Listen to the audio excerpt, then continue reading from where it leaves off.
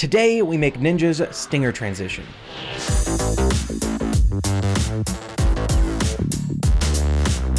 Hey guys, what's up? It's Bravity and welcome back to another video on my channel. Today we're getting back into the tutorials and I'm going to be showing you how to make Ninja's Stinger transition. Now, if you don't know who Ninja is,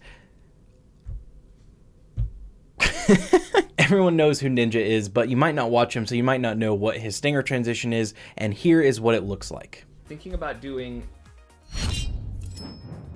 shade like So his transition's a little complex with a bunch of things sliding in and popping in and out and whatnot, but um, a lot of people really like it and want to know how to make it. So I'm going to be showing you guys exactly how to make a replica of the transition. And one of my closest friends, Bottom Frag, he is a fantastic Twitch streamer. If you guys do not watch him, I don't know what you're doing. Please go down into the link in the description and click on his link and catch a stream. You will be hooked and you will love him as much as I do. Dude's incredible, probably the best Twitch streamer on the platform. It's insane. But he really likes Ninja's transition, and I want to make him a shot for shot exact replica of the transition. So we're going to be using Bottom Frag's logo when we make this transition, but it's going to be exactly Ninja's transition. So let's get right into it. So guys, since the transition is complicated, I have already created it here and we're pretty much just gonna reverse engineer it to learn how to build it. The reason I'm doing that is because when you're creating just a shot for shot replica of a transition, I kind of need to just watch ninjas frame by frame and recreate it and that doesn't make for a very good tutorial. So I've already created it and now I'm just going to reverse engineer it and show you how to make it. So here's what it looks like. As you can see we can compare that to ninjas side by side and you can see it's an exact replica. So once you have your composition created, the first thing you're gonna do is make a solid of your main channel color. This first solid should be your main color. So you're gonna go up to layer, new, and click solid, change the color. Bottom frag's main color here in the transition is this light blue here. So what you're gonna do is you're going to place an effect on it called linear wipe. So if you come over here and type in linear wipe, you're gonna see it, you're gonna place it in there, and it's time to keyframe it in. So the transition completion is the slider you're looking for. As you adjust the transition completion, you see it slides across the screen. So what you're gonna wanna do is you're going to Look here, see here's linear wipe. We've got the keyframes started on the linear transition. So after eight frames, one, two, three, four, five, six, seven, eight, you should change the number in the transition completion to 50%. So that's halfway done. So right there, halfway done, we've got blue and it comes in just bloop, right to the halfway mark. The next step is you're going to select both keyframes, you're going to right click and you're hit keyframe assistant and easy ease. This is a very important step to the tutorial. If you do not do this, your transition is going to look very boring and it's not going to look like ninjas. This is what all professional motion graphics artists do to get more exciting movement, so just do it. Right click, select all the select these keyframes first, right click on them once they're blue, keyframe assistant, easy ease. Once you have them selected like that and they look like these little hourglass shapes, you're gonna click on this graph editor button right here, and you're gonna see we've got a bunch of lines. When you come in, yours is going to look like that. It's just gonna look kind of round like this, and you're gonna wanna grab these handles here, this little circle, and you wanna drag it to where you get a shape that looks like this. So this means that it starts out going faster and then smooths out. So it's gonna look like this, just grab the handle and slide it till you get this little curve, just like that. So then it comes in all like, like, like it starts out really fast and then slows down. Just like that. So once you've done that, the next frame, you're just gonna wanna go forward one or two frames, just boop, boop like that, and you're gonna change the transition completion to zero or 100, depending on which direction yours is coming in from. It's either gonna be zero, 100. All you need to know is you want the main channel color to fill up the rest of the screen, and I'll get to why we did that later. So you got it coming to the middle and then going out and you're done with your bottom layer. The next layer is your secondary channel color. So you're gonna go up to layer, create another new solid, and then just make it your secondary channel color. And this one needs to come in from the other side the same exact way. Now something you can do is you can take your linear wipe and you can paste it onto the solid color and then just flip the solid color. So if you come in here to the settings or into the effects, you can see there's a flip effect. And if you place the linear wipe onto this um, the, the secondary channel color and it comes in from the same direction, then place the flip effect, it'll switch to the other side so they come in to meet each other. Because that's what you're trying to do. You're gonna see they wanna come in and just meet each other in the center. So just whoop, just like that. Whoop. and you want to make sure that your main channel color, this blue, is underneath the purple, so that, or whatever your secondary channel color. I'm to start saying blue and purple and whatever his colors are, just know that they need to be your channel colors, obviously. So the blue and the purple here, the purple or the secondary channel color needs to be on top because that blue, remember, underneath this purple extends to fill out the entire the entire frame, but you can't see it because the purple is covering it up, right? So this is what you need right here, just the meeting in the center, and then the blue finishes out filling in the whole thing. As you can see, if we delete the purple, the blue has filled up the whole screen.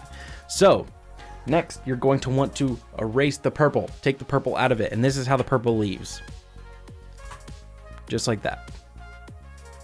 So what you're gonna do is, let's see how long it takes. So they're gonna meet in the middle, and then after 1, 2, 3, 4, 5, 6, 7, 8, 9, 10, 11, 12, 13, 14, 15, 16, 17, 18, 19, 20 frames. At the 20 frame mark, they come together and they meet, they're together for 20 frames, and then the purple moves to the other side. So the way you do that is literally just with the position. You see the position keyframes here, you keyframe your position and you just take the whole thing and you just slide it over to the other side. Once again, every single motion you do, this is the last time I'm I'm gonna mention it, anytime you're clicking keyframes and making keyframes, you want to select them like this, right click, keyframe assistant, easy ease, make sure they're selected, graph editor, and you're gonna wanna do this little curve here. It's gonna look like this when you come in. You wanna drag it like this so it speeds up at the beginning, right? And then smooths out at the end. Every single movement. You wanna do that. And click off the graph editor and you're back here. So then what you're gonna do is after the purple has moved to the other side of the screen, you're gonna go to wanna go forward one, two, three, four, five, six, seven, eight, nine frames. Yes, I know the blue disappeared. We'll get to that later, but you go forward nine frames and then you're to once again adjust the position to send the purple out just like that. So it's just to go out of the screen and we do it in multiple keyframes here just to boop, boop, boop, boop. It goes out of the frame just like that. So now we've got them coming together, purple switching sides and then leaving. Coming together, purple switching sides, and then leaving. So now what you want to do is you want to create your last color. You need a third channel color here, and his is this dark blue. So with the third color, this is where things start to get a little difficult and a little confusing, and it might be a little challenging and hard to follow. So you're gonna bring the third color in and you're gonna set it off to the right side like this, and you can scale it up if you want a little bit to make it easier to animate so you don't have to be perfectly exact, you know? But you're to place a keyframe right when the purple ends its move to the other side. So right here, it ends its move to the other side. Place a keyframe on the position of your third color. And then after 15 frames, so 1, 2, 3, 4, 5, 6, 7, 8, 9, 10, 11, 12, 13, 14, 15, you're to place another keyframe on the position and you're to move it to where the blue is taking up the whole screen. Now you might not see it here because there's other stuff going on, but this blue would be taking up the whole screen. So it just comes in in 15 frames, right? Once again, do the graph editor movement, easy ease, you know. But right once the blue hits the center of the screen, so you see the blue coming in, right once it gets to the center, you're gonna start some scale keyframes. And this is where it gets very confusing. Next to the scales right here, you're going to see a little chain link logo, and it's to constrain the proportions so that if you adjust the scale this way, it also adjusts this way. But if you uncheck that, you can scale this way and scale this way without it changing the other dimension. So you want to uncheck that so that you can scale it horizontally without it scaling this way. And you're going to set keyframes for it to then scale down into a sliver. So you're to scale the horizontal scale over time. I'm saying scale way too much. I told you it's to get confusing. But as it moves in, you're to scale it down this way into a sliver. So if you watch these red lines here, these red lines, you'll see it scale down as it comes in. So you see it's a full screen and it comes in and then right here you see it starts shrinking. So shrink, shrink, shrink, shrink, shrink, shrink, shrink, shrink, shrink, shrink until it's off screen. So this, it gets really confusing, I told you guys. So we're full screen here.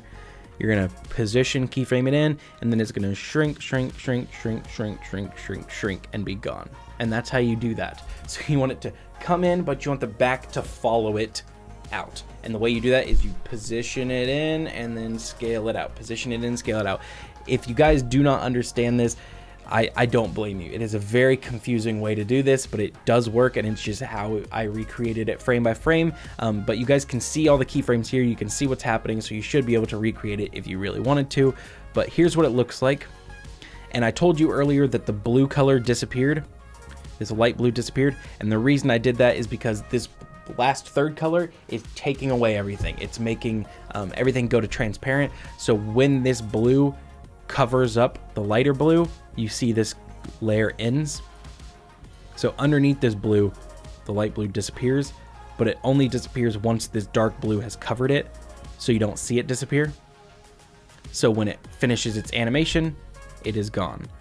So when this blue also is coming over the purple now, so if we open up the purple, you're gonna see that you need to keyframe the position of the purple to leave. So you see the purple here, you need to position it to leave behind the blue.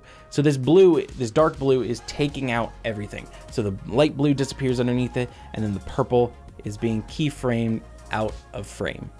You see that? It moves with it. Very confusing. So all together with these colors, we have them meet in the middle. We have the purple go to the other side. Once the purple hits the other side, we have the blue start to come in and then it shrinks itself down and everything deletes and moves out underneath it. So together, purple other side, blue comes in, shrinks, and takes it out. And that's what happens really fast in Ninja's Stinger transition. So I'm gonna show you this a couple times. Now I will say right now that I built this in a very complicated way because it's just the way I was most comfortable doing it and it works, but that's the beauty of After Effects. There's thousands of ways to do one single thing. So I'm just going to show this to you multiple times and show you this is what happens in Ninja Transition. So if you have a better way you want to do it, by all means do it, but this is just what worked for me and you can see all my keyframes here if you want to recreate it, but this is what happens in slow motion. They meet in the middle, the purple shifts to the other side, this blue comes in and shrinks down as a little sliver to take everything out. So that's what happens in the color. Now it's time to work on the logo, and this is actually really easy. So, Bottom Frag's logo is right here. So what you're going to do is you're going to get your logo, you're going to place it in the center of the um, composition, and when these two things are about to meet in the middle, right there, you can see the logo begin to come in slightly right here. When they are just about to meet, you want to take the linear wipe effect that we put on the colors, and you want to linear wipe the logo in. As you can see, it linear wipes in. You're just gonna set a keyframe on the transition completion. Just bring it in once again, easy ease, graph editor, you know what I'm talking about. And it's just gonna come in just like that. And you want to make it smaller than you think. You see how small that bottom frag logo is? You might think that's too small, but you'll see why. It scales up. So it's gonna come in right when these finish. And then before this purple switches over to the other side, it's going to scale up pretty far. So it's going to come in just like that. And then after one, two, three, four, five, six keyframes, the bottom frag logo or the Ninja logo or your logo then scales up to be a full size, just like that. So right before the purple switches to the other side. So comes in, gets bigger. Comes in, gets bigger, just like that. Then the last thing you do with the logo is right when this blue part is coming in. For some reason, the logo scales up a little bit more again. Once again, I told you I'm recreating Ninja's transition exactly, and that's what happens.